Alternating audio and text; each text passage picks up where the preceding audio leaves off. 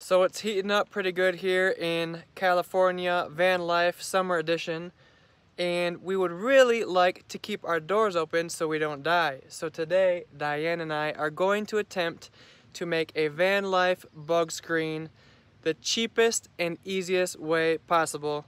Now I've seen other people buy the these magnetic door screen thingies that you put in just normal doors and they adjust it for their van. But the problem is when you're already on the road, it's hard to receive these if you buy them on Amazon or somewhere because they're, the dimensions are too big for the Amazon lockers.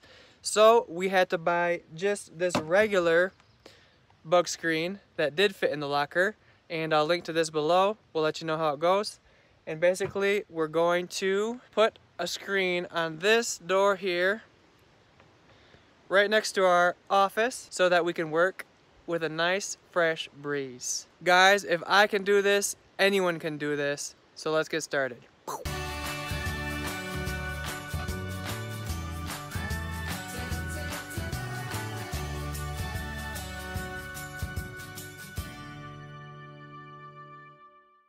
Now obviously every van is a little bit different on how you're going to be able to hang these things so you're going to have to open up your doors and see how exactly you would do it.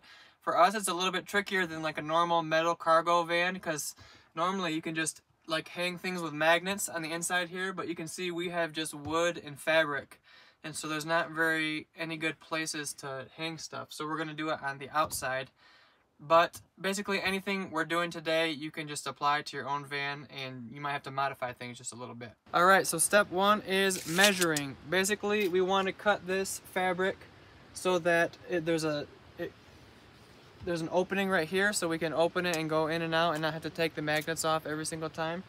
And so we're gonna make sure that we have a couple of extra inches on this side and on this side and then a couple inches overlapping so Diane can sew in the magnets on the center.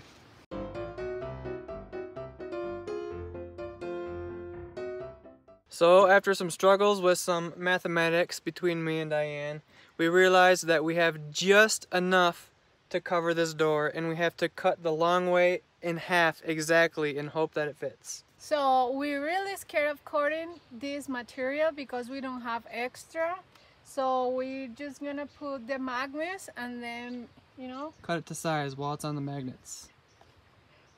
I hope it worked. We don't trust in our measuring skills.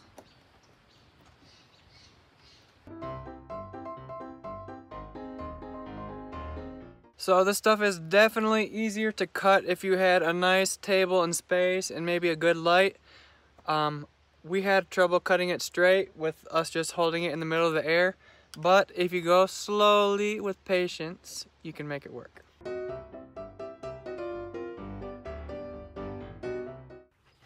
Why, hello there. So now we got these things more or less cut to size. And if you wanted to do the lazy route, you may not even need to put the magnets on the inside of these to make it close because it closes pretty good by itself. As long as you have some overlap between the two sides, it, I think you will probably be covered. But Diane wants to make things fancy, so she is going to fold this part over a little bit on each side and then put little magnets, sew in little magnets on each side so that when the doors close, they close with a magnet like that. So let's see what she can do.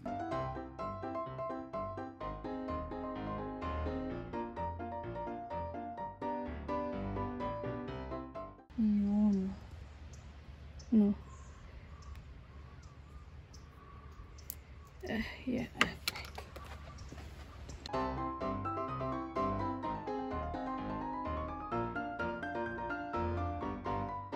Alright, for all you guys that don't know how to sew, like me, first you need to make a big knot at one end of the thread because these little holes in the bug screen are a little bit big. So you need to make a knot so it doesn't go all the way through. Then on the other end of the thread, you put the needle. Dirty hands. Dirty hands. Diane made me show this part because her hands are too dirty and she was embarrassed. then here's what you do. Come here, Diane. So, we folded the screen over a little bit and we're going to put the magnet on the inside of the screen. And we're gonna leave a little bit of space overlapping so that it makes sure that it closes all the way. And so we have a little bit of space. And then now we just go in one side. Can you see? We just go in one side all the way through and then turn it around and go out the other side and pull it through. So you do that all around the magnet. You do it all around the magnet a bunch of times. The more times you do it, ow! Poked myself. Okay. Ow! Ow! Let me do it. You don't know Okay. how to do anything. So it's just like this, and you go all the way around the magnet, and there you have it. Sewing 101.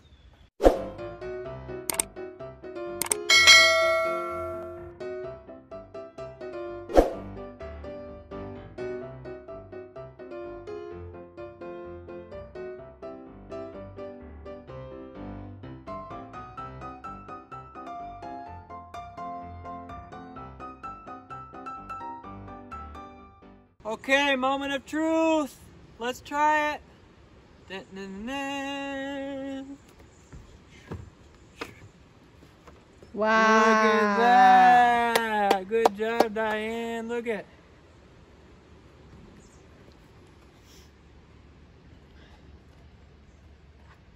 Beautiful work. So, the key to making this work is to get these really super strong magnets, and I'll link to them below. And in this part in the middle, we put two of them on top of each other, so it's super strong. So then when you open it, it doesn't fall off, and you can just go inside, and snaps back. Well done. High five.